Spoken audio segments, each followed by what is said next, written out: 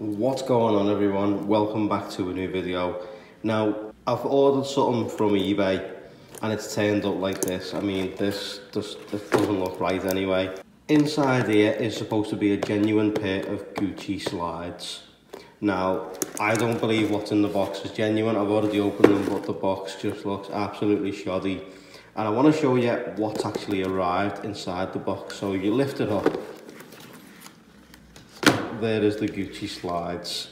Now what I want to go through with you today is how I know these are fake.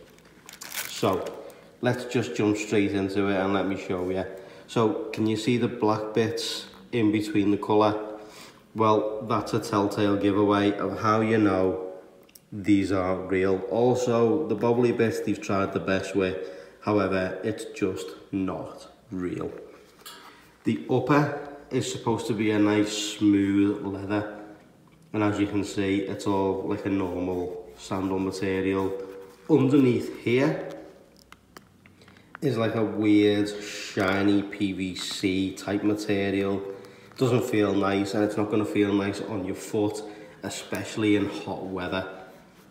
Moving around to the side the Gucci logo on the side is a little bit as you can see it's got chips and stuff out of it but it's 100% it's not real it's just not genuine at all. You can tell that just by the sides by those and the fact that it's squared it's supposed to be a bit rounded but that's very much squared. And then underneath as you can see where the Gucci logo is supposed to be well not the Gucci logo but the G on these bits here the G just isn't there which it should be. But I think if you turn them the other way around, no you still can't see it, you can you can catch it on one of them, on one of the on one of the slides you can see it, it's supposed to be, there you go.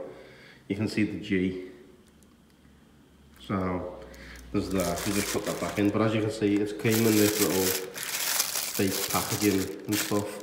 It hasn't come in the I'm not I mean I wasn't too bothered about the box to begin with anyway when he said he didn't have the box however knowing that he came in these and he never sent out the dust bags. I mean, that's a bit of a telltale giveaway as it is. And then looking at the bottom, that's not too bad. The Gucci logo, made in Italy, again, isn't too bad, but it's just the G's that are off. And I think this as well is a bit more defined. And it doesn't feel like this, it's a bit more defined on the real ones. But guys, that's it, that's going to do it for this video. I've been absolutely scammed on eBay don't let it happen to yourselves. Always check, make sure.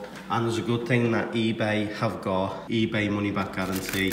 I was able to put them in, saying that they're, they're, not, they're not real, they're 100% fakes. Well, replicas, and he was selling them off as the real deal.